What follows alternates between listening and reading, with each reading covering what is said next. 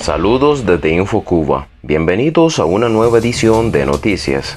Crisis en Cuba. En falta de 143 medicamentos básicos, el presidente del grupo empresarial Biocuba Pharma, Eduardo Martínez Díaz, afirma que está elevado el déficit que se debe a la falta de financiamiento y problemas con el pago a los proveedores.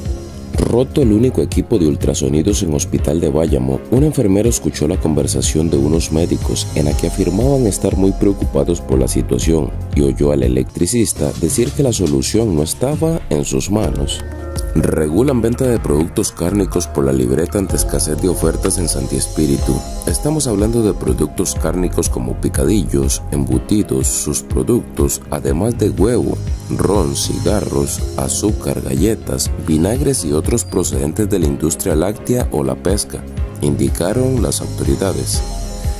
Cubana denuncia muerte de su abuela por negligencia médica en Astunas. ¿Cómo es posible que en el policlínico el equipo de hacer electros no funcione? ¿Cómo es posible que haya una sola ambulancia en Astunas? ¿Cómo es posible que dejen morir a una persona y no puedan mandar la ambulancia hasta que tenga un diagnóstico cuando se le haga el electro, cuando el mismo no funciona? Cuestionó Roxana Díaz Cruz.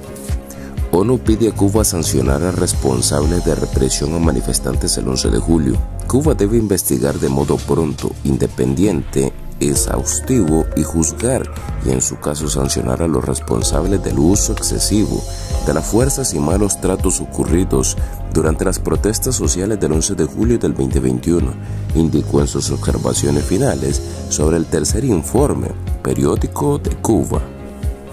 Exiliados cubanos piden suspender concierto de los Bam Bam en el sur de Florida el 20 de mayo, junto a la banda Habana de Primera, dirigida por el trompetista y vocalista Alexander Abreu.